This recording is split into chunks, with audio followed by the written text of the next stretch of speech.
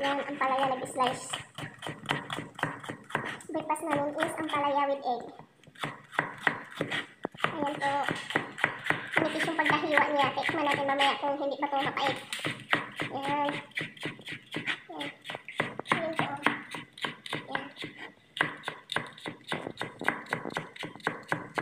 Na siya sa panghalo sa ampalaya. Ayan. Kamatis, bawang, and sibu. Yes. Ayun. Yan, idagdag natin. Yan. Tapos lulutuin na. Bawang, bawang. Ang galing mo. Ayan. Subukan niyo daw itong gawa niya na ampalaya. Ganito ang paggawa ng ampalaya. Masarap siya. At hindi siya mapait. Hindi. Okay. Yan, okay. Asin. Ayan, asin, asin. Ayan. Okay, pigain. Ayan.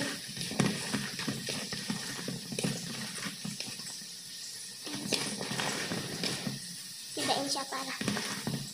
Kailangan talaga malakas ang pagkapiga, no? Hindi na. Okay, yan. Tingnan guys. Ayan.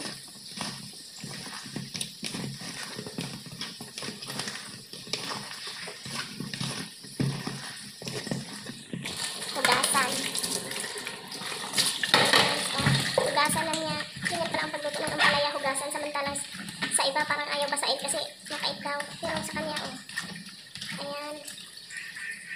Ang pinipigaan. Tapos, yan, nilalagay niya dyan. Okay. Yan. Ayan, pinadahan-dahan lang niya. Hanggang sa maano yung kamatis. Mag-sauce na siya. Mm. Okay. Ayan na guys, ilagay lang niya.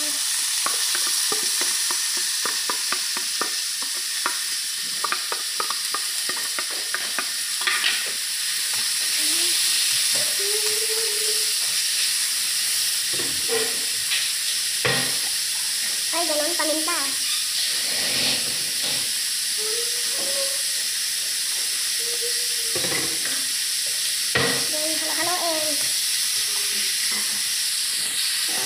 Tapos, lagyan ng seasoning. Oh, seasoning. Ayan.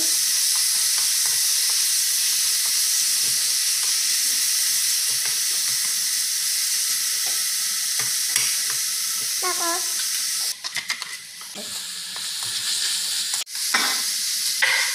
my God. Ayan. Ito yung itlog guys. Yan. Ilagay na ang egg. Ang itlog. Ang palaya with egg.